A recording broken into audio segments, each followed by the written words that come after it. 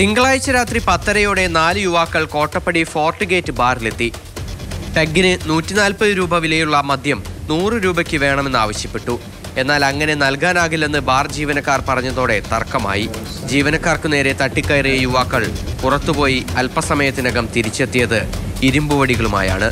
ബാറിനകത്തെ ചില്ലുകളെല്ലാം തല്ലി തകർത്തു. ഇത് തടയാൻ ചെന്ന മൂന്ന് ജീവനക്കാർക്ക് പരിക്കേൽക്കുകയും ചെയ്തു. സംഭവശേഷം സ്ഥലം വിട്ട യുവാക്കളെ ചാട്ടുകുളത്ത് നിന്ന് പോലീസ് പിടികൂടി. കേസിൽ ഉൾപ്പെട്ട അക്ഷയ് സുജിത് എന്നിവർക്കായി പോലീസ് അന്വേഷണം നടത്തിവരികയാണ്. പിടിയിലായ അഭിഷേക് ശ്രീഹരി എന്നിവരെ കോടതിയിൽ ഹാജരാക്കി റിമാൻഡ് ചെയ്തു. രണ്ട് ലക്ഷം രൂപയുടെ നാശനഷ്ടം ബാറിൽ ഉണ്ടായതായാണ് ഉടമയുടെ പരാതി. മാതൃഭൂമി ന്യൂസ് തൃശൂർ.